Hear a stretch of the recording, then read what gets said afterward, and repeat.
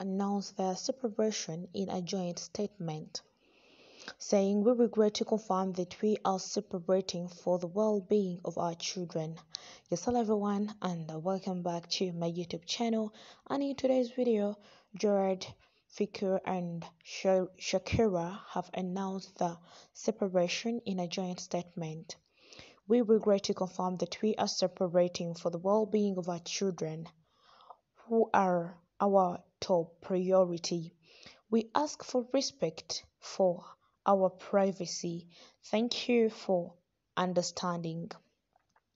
The two have come out to say that they are separating and they have confirmed their separation for the well being of their children, who they really take as their priority.